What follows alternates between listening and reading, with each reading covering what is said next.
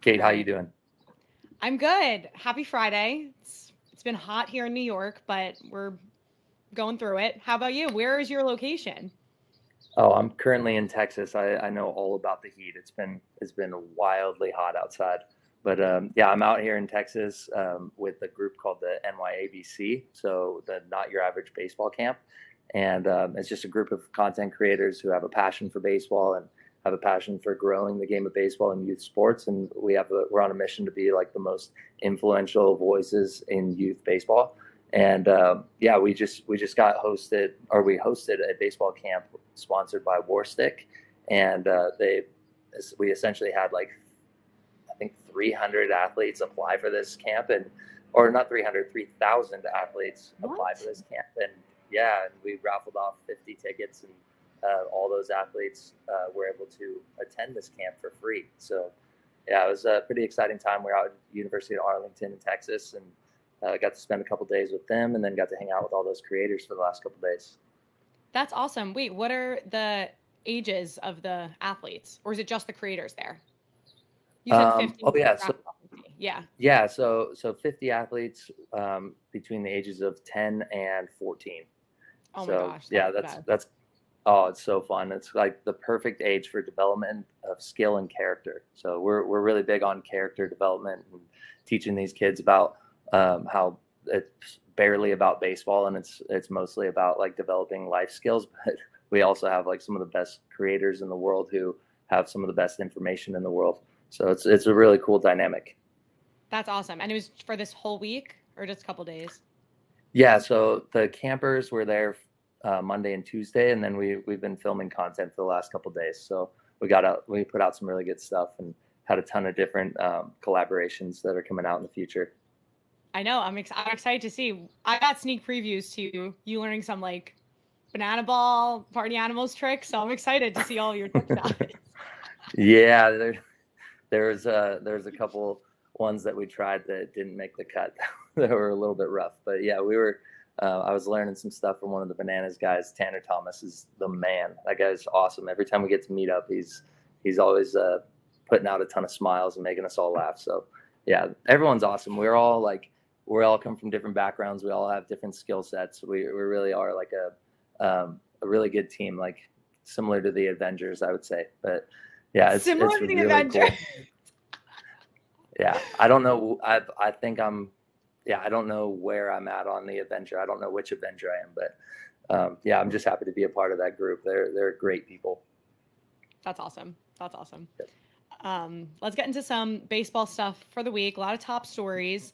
One of the biggest ones was robot umps are possibly arriving in MLB. They sent a memo out to all 30 teams Tuesday that said how they're going to view the future of like automated balls and strike system. And beginning June 25th, all AAA games will move to a challenge challenge system. Since the start of the 2023 season, a fully automated strike zone was also being tested at that level. I don't really know how I feel about this. I know we we were talking about it a little before the show. Do you think this will ever get into the big leagues? Like, do you see this as the future for baseball? See, I like three years ago, I kind of compared this concept to flying cars. like, oh man, that could never happen. This is this is insane. But as we get more advanced technologically, I feel like it is inevitable that we get to this point. But um, it's it's unfortunate for me. I, am I'm, I'm a big like old school guy, and I I really love um, being able to have a super villain behind the plate that I can blame for my problems. So yeah. I feel like I feel like having a fully automated system would just take away some of the culture of the game, but um, having this challenge system is interesting because I mean you see it done in football. You see all these um, all these challenges, but they they put like a limit to the number of challenges. I think that's what they're planning on implementing. I believe that's what I read was that they're going to limit it to two or three challenges per team, and um, that to me seems smart. I feel like if you are going to do it, you don't want to have a huge um, time delay. We've already done so many things in the game to reduce the number of time that I, or that fans are sitting in the stands. So, um, yeah, I, I think it is inevitable, and I'm not sure if it's going to be a good system if they can't figure out like the height difference for um, every single player. That seems so tedious having to go like measure yourself before every game. But um, yeah, it's crazy what's going on. Yeah, especially you make a good point, and I feel like when a lot of hitters are changing their mechanics or trying to make adjustments, like shortening their stance or like having a wider stance. So then they're gonna have to remeasure them again. Like you can't even just take their measurements at the start of the season. It would have to be pretty much every single game to determine. Yeah, it. and exactly, hundred percent. And I think um, I think that's what the uh, Manfred was saying. He was saying that it's just not ready for the 2025 season because of that dilemma. I think they're they're trying to sort that one out. So I think they have East West, but North and South is still um, up in the air, and they're trying to figure out a solution for it. Hopefully, it, it takes them like 10 years, so we don't have to Yeah. deal with it for a long time. I don't really want it because I feel like, especially with a lot of the minor league guys, say it's such a flawed system as we were talking about. But I wouldn't mind like two challenges a game. I feel like that could be. There's been a lot of games that ended on a really bad call, so maybe you Hmm. can challenge that. You know, bottom of the ninth inning, called strike three, or it's a ball, whatever. That could be kind of cool, but I think yeah. I. St- yeah, I, to be honest though, I I kind of like having that super villain. I I want Yeah. that guy to blame because I've thrown uh, very many strikes that should have been balls, and I really appreciated that.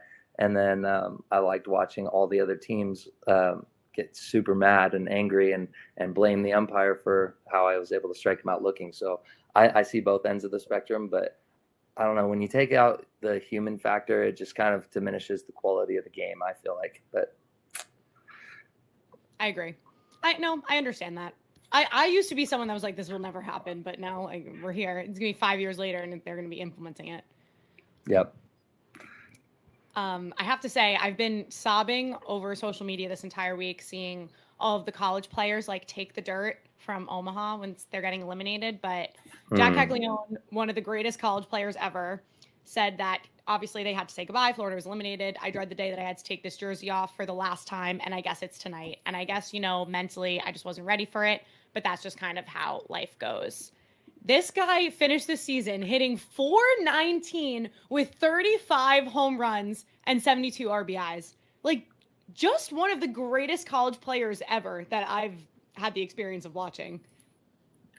Yeah, uh, it's it's so sad to see um, to see moments like that happen, and it's definitely it's been a moment that's happened multiple times in my career, and I've had to um, fight through someone else telling me no, but me not being ready to say no. So I'm hoping that that might be the case where where there's just that inner beast that just does not take no for an answer, and he just grinds out the next chapter. But um, yeah, it's it's very sad to see. I've had to see it in my own life, and I've had to see it in a number of teammates' life. Like um, my junior year of college was like my first wake up call in and reality check when uh, when we got to the postseason and we lost. Uh, I believe it was in the the first round of playoffs, and a lot of these seniors, um, like super seniors back then, were were just like bawling their eyes out, and I was over here just like la da da, like why are you guys sad? I'm not done playing Yep. baseball. But then I, I realized like oh wow they are and they're never going to play again and, and there's no there's no chance that they're ever going to play again. And then i'm like we're all going to be there every single one of us. And ever since i experienced that uh, that's one of the main things that i tell my athletes. It's like hey if you think that you're going to be in the game forever you're crazy. Listen to this uh, listen to this thought.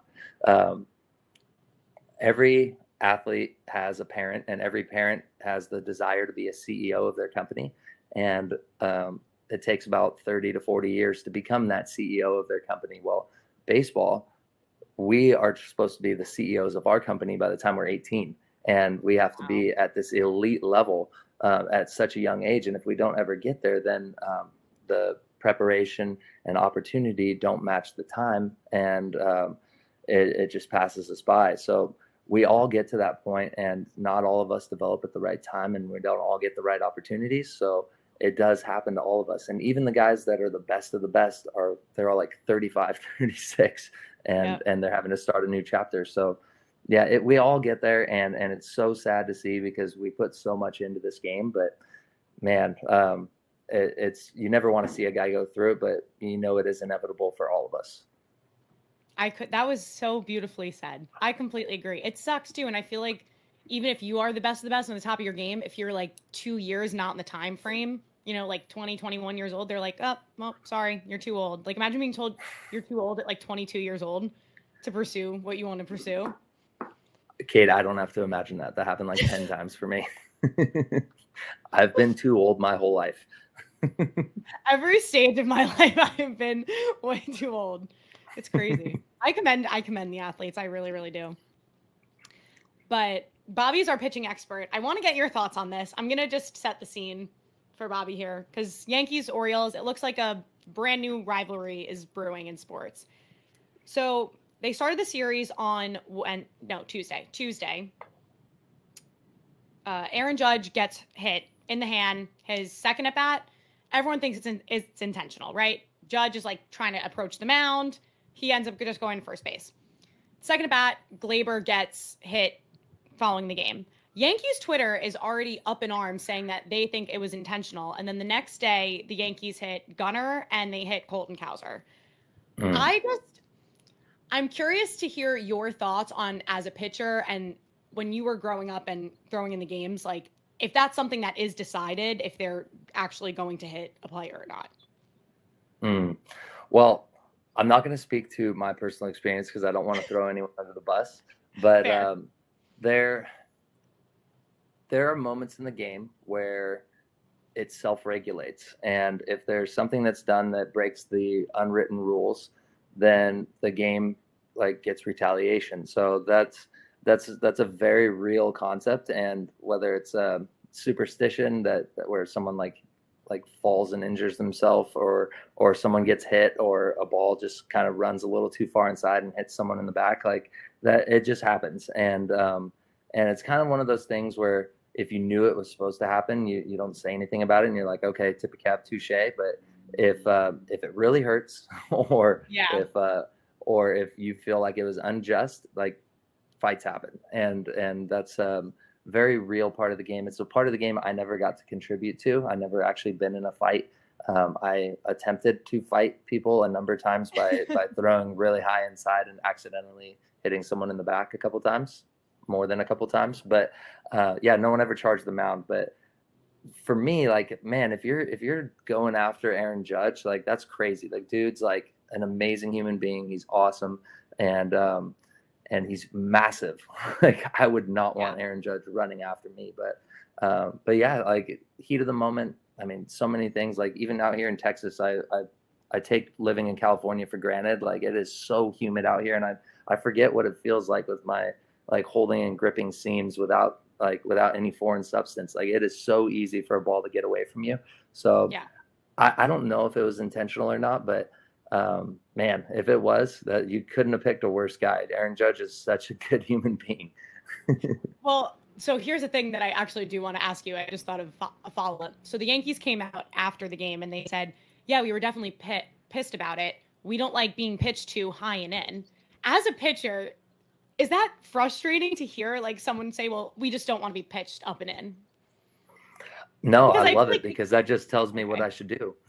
yeah, I if if they say I don't we don't like being pitched up and in, I'm going to throw up and in 10 times out of 10 because that just that gives me a competitive edge. Like this is a competitive game and um, it's it's very much like like a gladiator scene. Like you have to you have to like win otherwise they're stealing your job. So any any time that you lose your poker face and let something like that slip, like man, like you better expect to get that exposed in later in the series. Uh, but on the opposite end of that spectrum, like if you if you do something that the team feels like it's unjust, there is going to be a retaliation, and that's to be expected. So um, I feel like if if the Yankees felt like it was unjust, then maybe the hitting Aaron Judge wasn't intentional, but it's pretty safe to say that there was probably at least some um, intent to throw up and in. Maybe not hit guys, but um, you definitely want to brush them off the plate to let them know, like, hey, we're not going to let that happen to our teammates. Because at the end of the day, it's your gladiator team versus our gladiator team, and the the best team is going to win. So, yeah, you kind of have to like get your teammates' backs and um, and pick them up, even if they didn't do anything to you. Like for me, like if I had a um, someone slide in and cleat my shortstop, you best know that I'm taking down notes on what that guy's number is, and and I'm going to throw up and then I'm going to at least put him on his back because uh, at the end of the day, my shortstop is with me all year round, and no matter how nice of a person I am, that person almost took out my my starting shortstop and ended his career. So um, I'm going to make him at least get dirty for it. Hundred percent, hundred percent. I also think it's they were talking about this on the broadcast, like how different it is now because, like, if a pitcher hits a guy, they might just toss him from the game, and I feel like mm. years past that never used to happen. Like they would let fights ensue, they would let batters get hit, but I mean it's it's better because you're protecting the players, but I think the pitchers are nervous to even get close to intentionally throwing at a batter. I know someone who is not nervous about intentionally throwing at batters. Aaron, um, I was going to say Aaron Judge. Uh, Joe Joe Kelly. Joe Kelly does not care at all. That guy is the psychopath of all psychopaths, and I love every bit of that energy. Aaron Judge freaking... probably the opposite end of that spectrum, but yeah. Wait, that's I freaking love Joe Kelly. That's so awesome. And if you meet him in person, like he he's one of the athletes that um, goes to the facility that I train at, so um, I get to talk to him all the time, and um, he's just a great human being. But he is there is something about him that's a little bit crazy, and uh, his personification of being a psychopath probably true, but that's that's once he steps on the on the diamond. And he's when he's off the diamond, he's such a family guy and really good person uh, for youth baseball, and, and such a cool guy. That's awesome. That's awesome. I love that story. Um, but Royce Lewis just continues to hit home runs. I'm telling you, if this man can stay healthy, top 10 player in baseball. I'm so excited to watch him.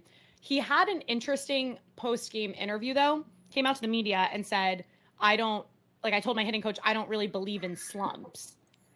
Like, and I think that's why he's so effective and so good at the plate because he's so co- confident. He doesn't even let that thought get into his head. You know what I mean? Mm. Yeah. So um, I'm not I'm not a hitter, but I do have the pitching version of slumps, and I think what I've learned even this week, I, I learned this this week because a big part of what we learned at the camp is like how to handle adversity and how to um, how to get through situations like that. So one of the creators that was here, his name's uh, Dr. Hitting. He has this thing for youth athletes. It says uh, he says uh, you got to have a big dog mentality and you don't want to be a kitty cat like because he's talking to 10 year olds but um, the the big dog mentality is such a, a powerful tool. And that's something that i've seen so many big leaguers just they they know how to brush stuff off their shoulder because they have that big dog mentality. They're they're going to be a competitor and they're going to not let something phase them um, i think part of having a big dog mentality is having so many reps of doing it right under your belt that the bad reps don't even matter anymore. But um, but yeah, like he's um, you got to kind of stay in the present. You can't you can't focus too much on the past. You can't you can't look too far ahead into the future. You just have to just live in the present and get after it.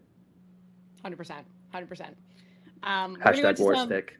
Hashtag war like, stick. I love that little that's, plug. That's their thing. I'm gonna use that. Uh, we can get some viral clips, viral videos for the week. Jeter asked Barry Bonds what he would do against Satchel Paige, and his response is exactly what you would expect. We're just gonna watch it on our own right now.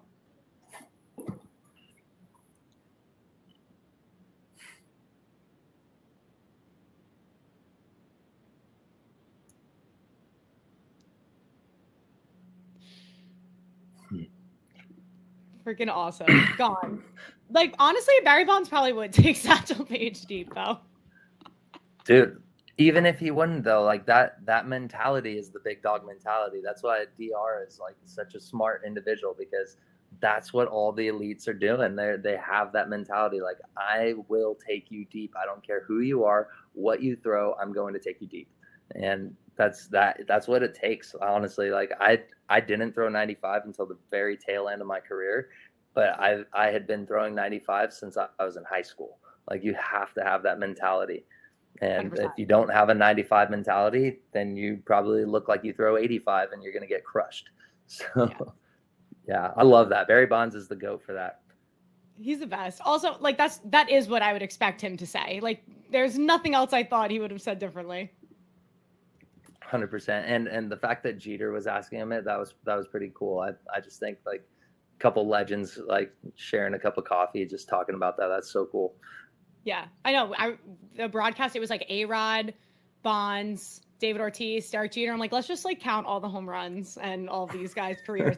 what an elite broadcast. They had Reggie Jackson right. on. He was great.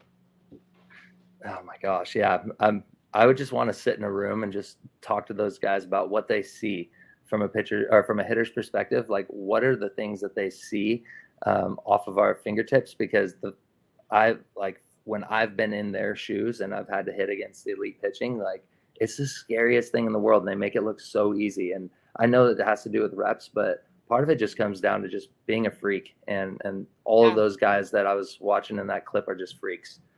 I know. They're awesome.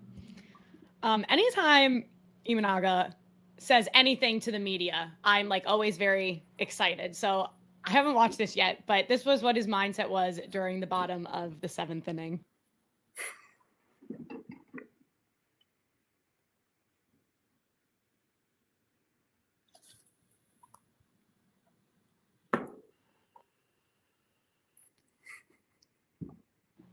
I was pretty hungry and I was thinking about what I was going to eat. Have you? What are your were your thoughts, Bobby, when you were pitching? Oh man, you were dialed so in. I had my little rituals. Like I had this like towel. Like I, I really just tried not to focus on the situation. So I had this like towel thing that I would wrap around my arm. Um, it was like a Gatorade towel. It was really long, and I would just like kind of wrap my shoulder in it, and then I would just like be constantly adjusting it. I never liked just sitting still. Um, but, but yeah, like uh, that that hungry thought always popped into my head. It's like, oh man, I could really go for like a stadium hot dog right now, or I could go, I could go for like a protein bar, and I would like hit up my my trainers like, hey, any chance we could get something in the in the dugout right now? And and they were just like, no, you know the rules. So I'm like, okay.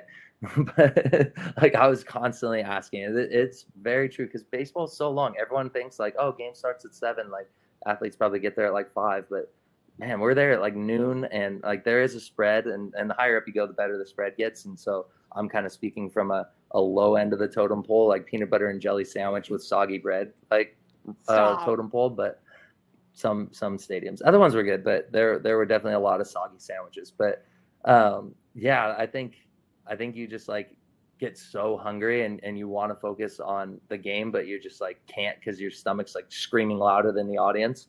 So yeah. I I resonated with that. Like he's so calm that he's just like talking about food. Um, that's the same as like someone like being in the middle of a pressure situation in a postseason game and just blowing a bubble mid pitch. I love I love that relaxed um, aspect of these high elite athletes. Yeah, no, he's the best. Leading in Cy Young voting, like I'm I'm so excited for him. Um, this probably I made a video about this about Triston Casas being interviewed on Father's Day and dropping a wild story about his dad getting arrested. I don't if anyone didn't watch Sunday Night Baseball, that was probably the wildest game and broadcast I've ever watched, but we can we can watch it down on what Triston said to the media.